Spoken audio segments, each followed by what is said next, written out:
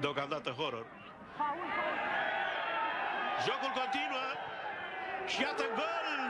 Gol înscris de Hermannstadt, Juvel Tsumu punctează la o fază la care uh, jucătorii ieșenii reproșează încă o dată.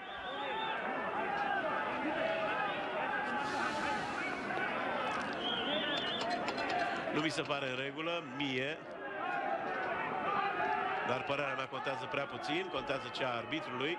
Parcă vine puțin din spate. E, aici e mai bine. Da, e împingere din spate. După părerea mea, este împingere din spate. O, și acum o greșeală de care încearcă să profite același Dumitriu. Dumitriu pasă și mingea trece peste același Tsumu.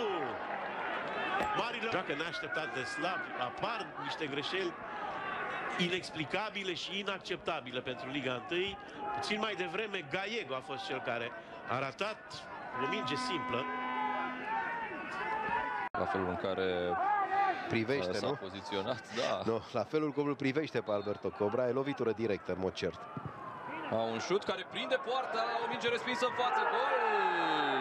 Dumitriu dublează avantajul uh, Sibiului.